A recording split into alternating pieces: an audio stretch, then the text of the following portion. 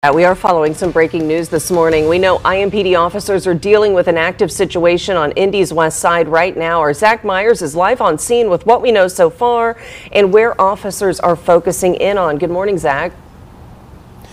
Lindy, good morning. We have some uh, basic preliminary information here at the Heather Ridge Apartments on the west side of Indianapolis, but uh, a lot of specifics are just not know, uh, known right now, and that includes to the officers who are, are, responding to the scene. I'll step out of the way and show you what we have going on here. Uh, the building that's all lit up there with the large uh, uh, armored vehicle right there and several what appear to be SWAT unit members, that's where their attention is focused right now.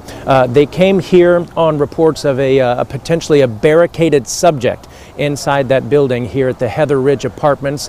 Uh, so far, they've been able to safely get a couple people uh, from out of the apartment. They're sitting in uh, patrol cars right now, staying warm including a woman who's holding a small child uh, inside one of those cars to stay warm. As for what's going on inside the apartment unit right now, it's just not known. Uh, I spoke to a, uh, a supervisor here on scene he says there are a lot of uh, question marks about what happened. Uh, they've not been able to share information about exactly what brought them out here uh, in the first place. But I, I, told them there had been some radio traffic uh, indicating potentially a person shot, and they said that's just not clear right now. Uh, they're trying to clear up about whether that actually happened here or potentially uh, that was some crosstalk from related to a, a prior shooting. They just don't know. So we don't know if anyone's been injured uh, inside that apartment building right now. Uh, we don't know the status of the person inside. Uh, they can't even tell right now if the person is uh, uh, potentially armed. We do know there is a language barrier right now,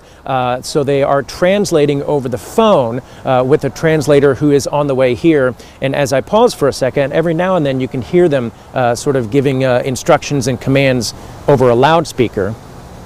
And that's just been sort of uh, constantly going on since we got out here. So again, what we know is that they are uh, focusing on that building. There's a possibly a barricaded subject inside the building. They've gotten a couple people safely outside the building. We don't know though if the person is armed or exactly what's going on inside that apartment unit. So as we learn more out here and this progresses and develops, we'll keep you updated right here throughout the morning. We're live on the west side. Zach Myers, Fox 59 News.